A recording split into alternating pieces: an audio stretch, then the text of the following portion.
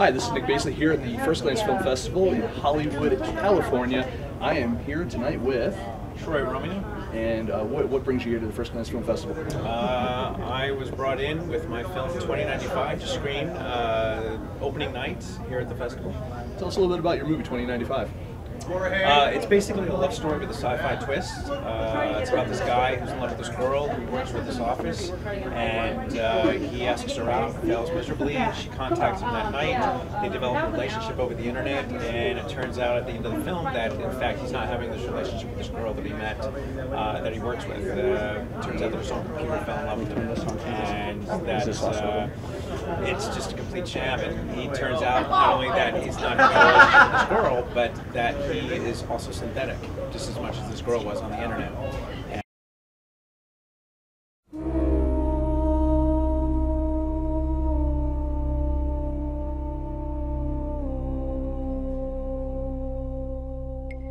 Is it true what they say that love can be very complex?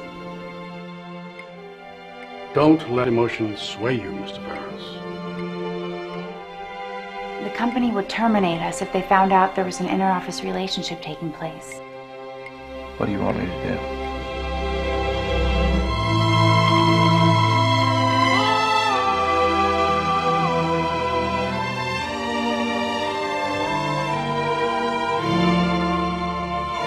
Grumble wants to fire me. They tapped into my computer, downloaded our eat calls. I'll talk to Grumble and tell him it was my fault. Thanks, but There you are. I don't see how much good that would do now. Problem, Mr. Ferris? Oh, I'm sorry. It's just not being able to see you and It last wasn't night- enough. I know. I feel the same way. Delays are costly.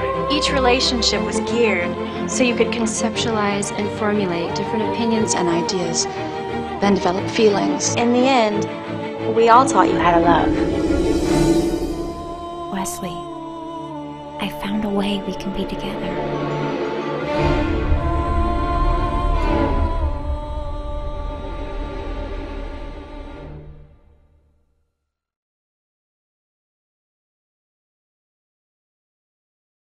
So you, you're, you're here at the, the First Glance Film Festival here, and uh, this is not your first festival, but what, what drew you to the First Glance Film Festival? Um, I think it was just looking back at the festivals, uh, you know, going through Without a Box and going through the short list and everything, and looking at the festivals that really cater to filmmakers, really take care of filmmakers and look out for them, as opposed to just getting stuff up on the screen for the sake of programming. Um, I think Bill and, and everybody involved with the festival really, really uh, looks after the filmmaker and really is concerned about their best interests. What's the uh, most important lesson so far you've learned as a filmmaker? Don't use your own money. no, I mean it's uh, you know there's always mistakes. I mean you, you learn all the time, and it's you know this is this is my first big film, getting it out to this many festivals, um, and you just learn what to do and what not to do by running into other filmmakers, uh, going through the process. Um, you know, you, it, it, it's a learning curve, and hopefully next time out, you know, you won't make the same mistakes, and uh, you just be able to grow from there. Now, one of the uh, film festivals that were out there that I actually heard from your film because it was playing there was the Staten Island Film Festival from last year.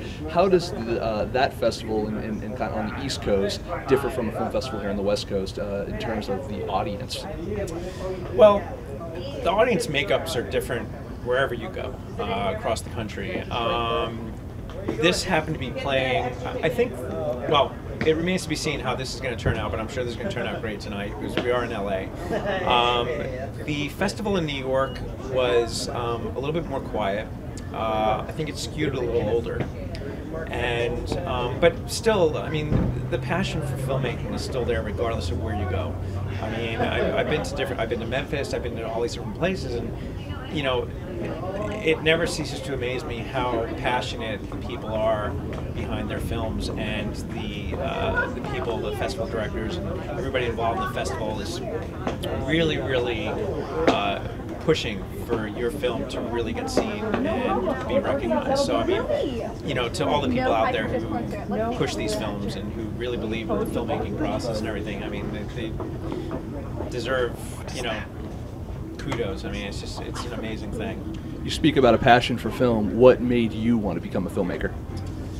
What made me want to become a filmmaker? Um, I think it just boils down to basically not knowing how to do anything else, not feeling passionate about anything else as much as I feel about filmmaking. I mean, I love movies. Um, you know, given the choice to do several different things, I'll pay my five bucks or slip in a DVD and sit there and watch a film and, and you know dream away for two hours. I mean, I just I love the process. I love the fact that you can get 100 people on a soundstage working for something that's going to last a second on screen. I mean, it's just it's it's just an amazing business.